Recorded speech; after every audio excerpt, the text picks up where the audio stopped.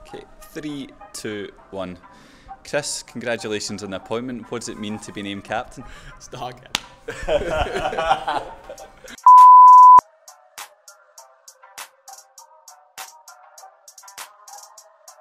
yeah, I'm absolutely delighted. It's the manager put like trust in me to be captain. It's fantastic, and he spoke about when I first signed that it was the it was the option of hopefully being captain, depending on what who come in and how I settle in with the group. So it's delighted that he's actually named me captain now. I'm looking forward to getting going and absolutely lead the boys to some success this season.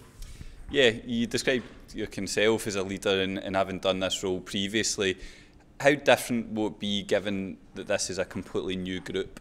Yes, I mean, we're all in the same sort of position where it's quite a good group really because we've got the experienced side and we've got the younger sort of side. They know how to do it, so obviously I, uh, with that, the role being captain, we've got some people that I can lean on as well who've been captains at their former clubs, so they know the role as well. And if they have to step in when I'm not playing as well, that's going to be that simple transition where they can do that as well. Yeah, you're not going to be alone in this. You've got three vice captains: Ewan Murray, Rory McKenzie, and Chris Burke. What have you learned about them so far, and how big a help will they be for you?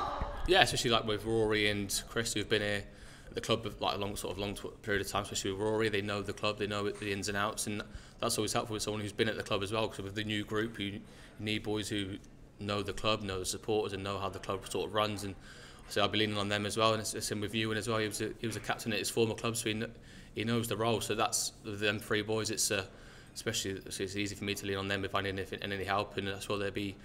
If anything needs to be said, they'll be saying it as well without me even saying anything as well. So that's that's important. We've got to say it's a good blend of experience and people that have been there and know, know how to do it. How have the, the first few days been? How's pre-season been for, for you so far? Yeah, it's been, it's been a little fortunate for me that picked up a little groin strain, a bit frustrating one really, where you come back, you want to, especially with a new group, you want to come in and impress, and impress the manager, and impress the staff, and impress the boys as well.